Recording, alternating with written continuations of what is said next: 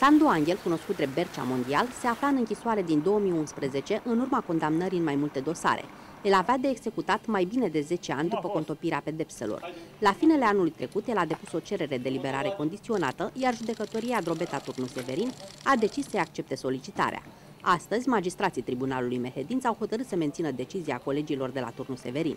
Prin decizia Tribunalului Mehedinț s-a respins contestația formulată de către parchet, astfel că urmează ca instanța de executare să întocmească formele de punere în libertatea condamnatului.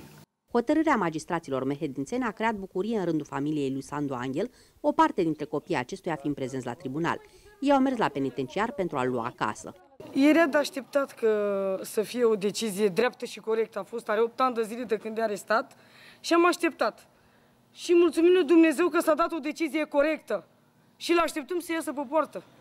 Încheierea de ședință a ajuns rapid la penitenciar, iar documentele de eliberare au fost repede întocmite. Sandu Angel a părăsit penitenciarul la doar 4 ore de la pronunțarea sentinței.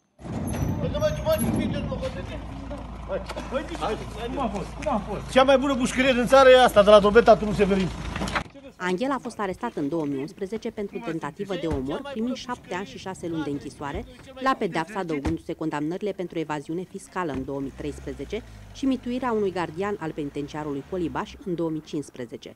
Bercea mai este judecat într-un dosar aflat pe rolul tribunalului Olt, în care este acuzat că a înjunghiat un fost viceprimar al Slatinei.